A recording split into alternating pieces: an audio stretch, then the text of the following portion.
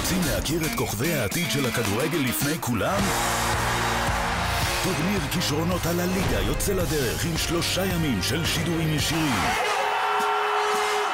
קבוצות הילדים הטובות בעולם יהיו שם ואתם מוזמנים להצטרף לחוויה מרגשת של כדורגל שמח ואיכותי. טורניר כישרונות על הליגה, שידורים ישירים, רק בערוץ 1